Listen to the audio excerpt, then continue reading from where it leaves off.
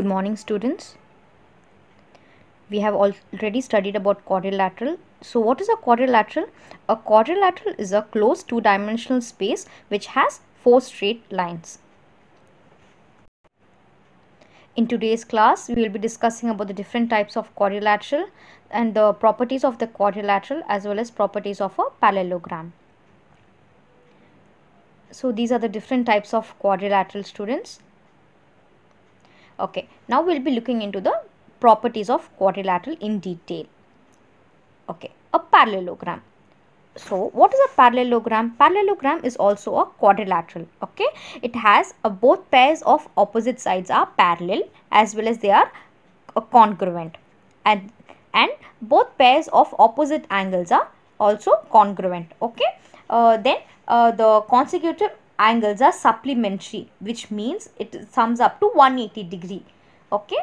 Supplementary means 180 then uh, in a parallelogram the angles bisect each other but their angles are not congruent. They bisect but then they are not congruent. Bisect means it divides it into two equal parts. Okay? Then what is a rectangle? Rectangle is also a parallelogram but then the diagonals are congruent as well as the angles are all 90 degree. Okay right angle means 90 degree. Then rhombus. Rhombus in a rhombus the diagonals are perpendicular. All its sides are congruent and those diagonals bisect the angles. Okay? Uh, square. Square can also be a parallelogram a rectangle as well as a rhombus.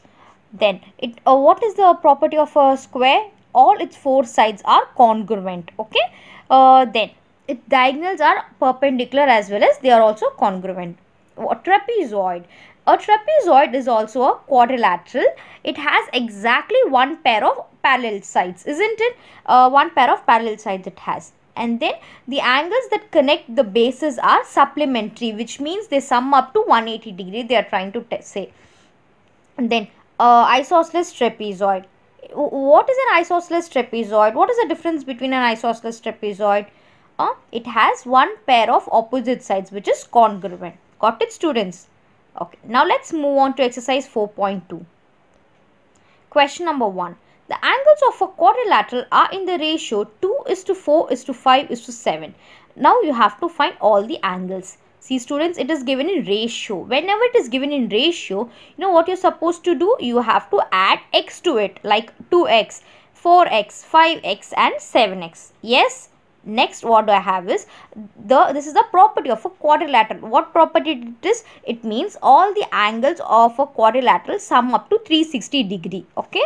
So if you add all the angles uh, as in 4 angles it will be equal to 360. Now you have to add 2x plus 4x plus 5x plus 7x and equate it to 360 okay? Then add everything. What will you get? 18x is equals to 360 then x is equal to 360 by 18 which in turn will give me 20 yes i have found the value of 20 now what can i do ma? I can substitute like 2x i took no one of the angles so 2 into 40 sorry 2 into 20 will give me 40 likewise 4x which means 4 into 20 will give me 80 then 5x that is 5 into 20 would give me 100 then 7x 7 into 20 would give me 140 therefore I have found all the four angles of a quadrilateral. Got it students? Now let's move on to question number 2 the, what question number 2 says in a quadrilateral ABCD angle A equals to 72 it seems. And angle C is the supplementary of angle A. The other two angles are 2x minus 10 and x plus 4 now I have to find the value of x as well as I have to measure all the angles it seems. Okay. Now let's get back to the question. What does my question says? It says that angle A equals to 72. Fine. Now oh, angle C is supplementary of angle A which means angle A plus angle C is equals to 180 degree. Okay. Hmm? Therefore, how can I find if I have to find angle C, I can subtract 180 from 72. I will get the remaining. That is 1 on 108. That is my angle C. Now look into the diagram carefully. I have drawn a quadrilateral. Haven't I drawn? Yes. So I have marked A and opposite angle C I have marked. Why? Because they have clearly told that angle A plus angle C is supplementary. Now rest of B and D I have marked on the other two sides. You get my point no? Now what did we find? We found the angle C to be 108. Next what will we do? As we know in the previous sum we saw this property isn't it that angle A plus angle B plus angle C plus angle D equals to 360. Yes that is a total angle of a quadrilateral now what will I do ma? I have to add just substitute in the place of angle A, B, C, D these values equated to 360 therefore uh, merely substituting uh, what will I get? 3x plus 174 equals to 360 now bring all the constant to other side and then divide by 3 you will get the answer as 62 here I have found the value of x. Now what will I do I have to find uh, the measure of all the rest of the angles that is angle B equals to what? 2x minus 10, right? So, in the place of x, what will I put ma? 62. I will substitute and then I will get the answer as 114. Next, what do I have? I have to find angle D. What is my angle D? I have x plus 4. What is x? 62. 62 plus 4 will give me 66, which means I have found the angles, right? Right? 114, 62 and 66. So, these are the three angles. Next. Question number 3. ABCD is a rectangle whose diagonals AC and BD intersect at O. If angle OAB equals to 46, I have to find angle OBC. See, first of all, what they have given, let us draw a diagram. ABCD is a rectangle. Yes, I have drawn ABCD. Who diagonals AC and BD. Now, diagonals, let me draw the diagonal. Okay, I have drawn. Then they have, they are clearly telling me that it intersect at O. Intersect means it meets, okay? These both the diagonals meet at O it seems. So I have marked that point as O. I hope you can understand the diagram students. Yes. Now I have to find angle OBC. Okay. How will I find? See, since the diagonals of a rectangle AC and BD are equal and they bisect bisect each other isn't it that is the property of a rectangle okay they are equal as well as they bisect each other now if what are equal AC and BD are equal. Okay. Now what I can say that OA equals to OB. Yes students. Similarly, these since OA is equal to OB, obviously the angles will also be equal. Now if OAB equals to 46, I can say that angle OBA is also equal to 46. Okay. Next. Now I know that each angle of a rectangle measures 90 degree. Obviously I know that isn't it? now uh, which means that angle ABC is equal to 90 degree. Full full angle. I'm talking about the full. Okay first I said just the small part that is OBA is 46 I found. Then I know this angle ABC is equal to 90 degree. By how how come I know? Because of the property of a rectangle. Uh, now what can I do is I can write like this isn't it? If I combine this half angle and this that half angle I will get the answer is 90 degree. Now what can I do is I can do 90 minus 46. Okay, I will get the answer as 44. Got it students? This is how I'll do. Now moving on to question number 5. I have to show that the bisectors of angles of a parallelogram form a rectangle. What do I mean by bisectors of an angle of a parallelogram? First of all, let's just draw the diagram. That is uh, this is a abcd is a is a parallelogram. Okay. Now we are saying that bisectors bisectors of what ma? Of these angles they form a rectangle it seems. Okay i have to prove. See this is how you have to write. You have to write the given part. Whatever is given what is given to me a parallelogram in which bisector of angle abcd intersect at pqrs to form a quadrilateral pq PQRS. Okay, this is the given part. I have to write like this only. Given part I have to write. Then to prove part I have to write. What am I supposed to prove? That this PQRS, that is the quadrilateral PQRS is a rectangle. That is what I have to prove. Now, proof part since ABCD is a, is a parallelogram, which means what is the property of a parallelogram? The opposite angles, opposite sides are parallel to each other, right? Now I can say that AB is parallel to DC. I can, yeah. Then what do I have? Angle. Eh, now I have this AB is parallel to DC and transversal. Transversal is a line which cuts, okay? AD. Transversal AD cuts. Now I can say that angle A plus angle D is equal to 180 degree, right? Uh, see it is supplementary, okay? Angle A plus angle D is equal to 180 degree. Now, in that now look into this triangle. What angle? Uh, angle SAD, which be half of angle A, right? They have already told bisects. So half of angle A, this the small part Angle SAD is nothing but half of angle B. Similarly, angle ADS is also half of angle D. Angle D is full, okay? The small part I want, so I'm taking half. Now, I'll mark that as equation 2 and the angle SAD as equation 1. So that there won't be any confusion. Now, what will I do is I will add what will I do ma? I will add these both. See half of angle A plus half of angle D. I have simply taken half common out. Okay, don't get confused. Uh, then half common out. Then I can write angle A plus angle D as it is. Then what do I have? Uh, then uh, angle A plus angle D is equal to 180. Uh, long back I told you. You remember? Okay, that is because it is supplementary. Now what will I do? Half into 180. What will I get? I will get the answer as 90 degree.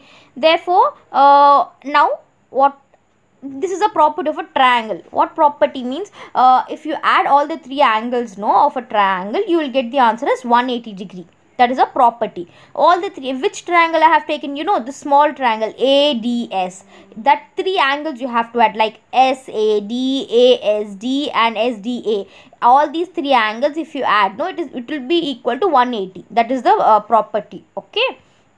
Now I have uh, just I can also rewrite like this no? See uh, earlier I had written as SAD plus ASD plus SDA I can also just shuffle it and write. Right? I have just shuffled it and write. Now what will I get ma? Uh, SAD plus SD is equal to 90 degree. I just proved it. I, plus ASD is equal to 180 now what I want ASD alone. 180 minus 90 will give me the answer. It is 90 this is also 90 that is also 90 therefore it how come? By vertically opposite angle Therefore, have proved that PQRS is a rectangle. Okay. Moving on to the question number 8.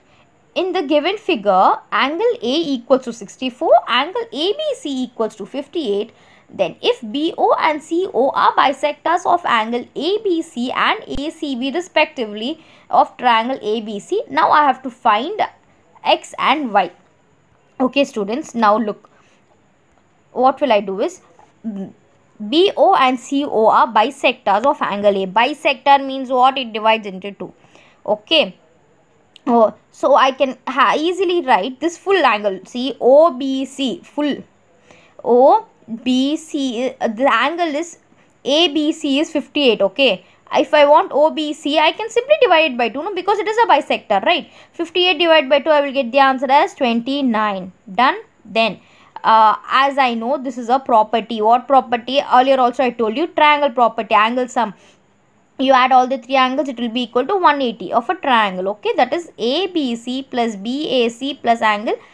BCA equals to 180 then I'll have 58 plus 64 yes it is 58 isn't it? Full angle I'm talking about okay? 58 I know. Then 64 I know but I don't know what is BCA so let it be okay?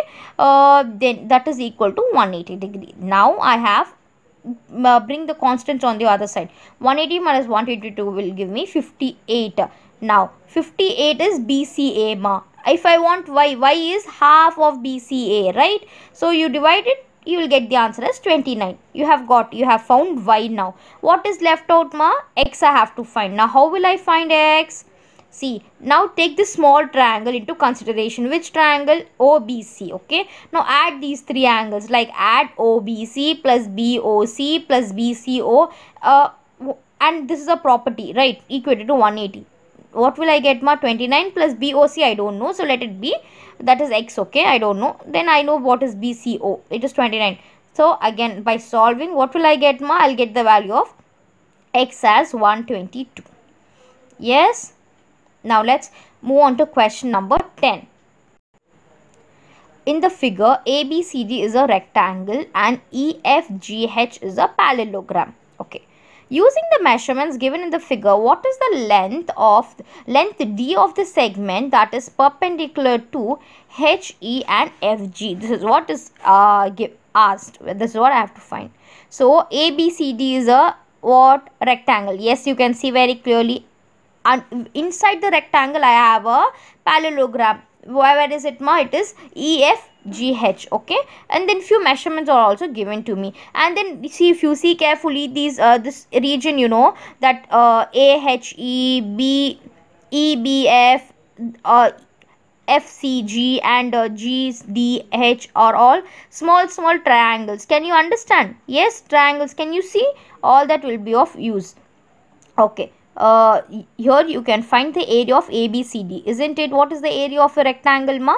Length into breadth. Okay.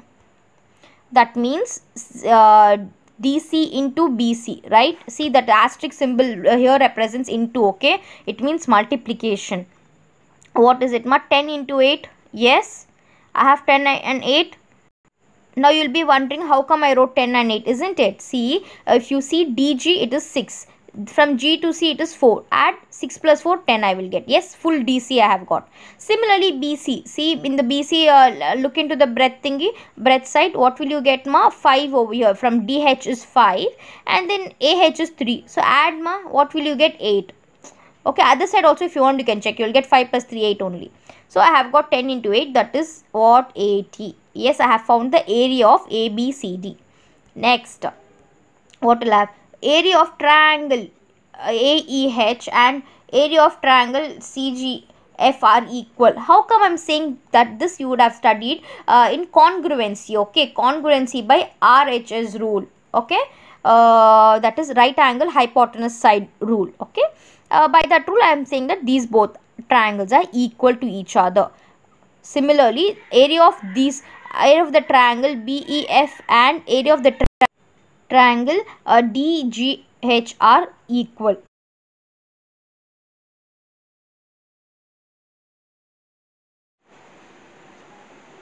Now we have the area of the parallelogram that is EFGH would be what it will be area of the rectangle ABCD minus 2 times of area of the triangle AEH minus 2 times of area of the triangle BEF.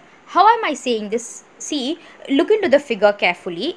If you you will find the area of the parallelogram inside the rectangle surrounded with four triangles isn't it so how if i have to find the area of the parallelogram now what i have to do is i have to remove the uh, triangles right I have to remove the area of the triangles from the area of the rectangle so that is how I frame this formula now what is this? 8 area of the rectangle is 80 we have we found it out. So minus 2 times of what is the area of the triangle? Generally it is half into base length into perpendicular height isn't it? Half can be represented as 0.5 into 4 into 3 okay subtract minus 2 times of again half into base length into perpendicular height. That is half is 0.5 into 6 into 5 if you calculate you will get the answer as 38 now you have found the area of the parallelogram isn't it? Now what have you what are you supposed to find? The d. See area of the parallelogram what is the formula for area of the parallelogram? It is base length into height. Now base length is gf into height you don't know. That is what uh, d okay? But you know the answer you know it is equal to 38 now you know how can you find gf gf see you consider the triangle gcf okay? From this triangle you can find using the hypoth uh, pythagoras theorem. What does pythagoras theorem says? Uh, gf square equals to fc square plus gc square. That is sum of the square of the other two sides would be equal to the square of the hypotenuse side okay? Uh, so using this uh, pythagoras theorem we are substituting. Gf square would be uh, is, it will be 4 square plus 3 square okay? So what is 4 square? It is 16 plus 9 which eventually will give me 25 if now if i have to find gf i have to take the square root. If i take the square root i'll get the value of gf to be 5 now what can I do? I can go and substitute in the place of GF as 5. So 5 into D equals to 38. If I have to find D alone, I have to get 38 divided by 5. I get the answer as 7.6. Got it students? Now let us do a quick review. See in this class we have seen about the uh, properties of the parallelogram as well as the properties of a quadrilateral. Hence, we have arrived at few conclusions. So, first conclusion is that every parallelogram is a trapezium, but not necessary that every trapezium should be a parallelogram. Okay, students. Then, uh, similarly, we have also arrived at a conclusion that every rhombus is a parallelogram, but not every parallelogram is a rhombus. Likewise, every rectangle could be a parallelogram, but not every parallelogram would be a rectangle. Um, then, every square is a rhombus and hence every square is also a parallelogram. So, these are the conclusion based on what, what we have studied today. Now, I would like to ask you a few questions. Are the opposite angles of a rhombus equal? Then, yes, it is equal. Okay. Next question be, a quadrilateral is a dash if a pair of opposite sides are equal and parallel. It is nothing but a parallelogram. Okay. Thank you so much students.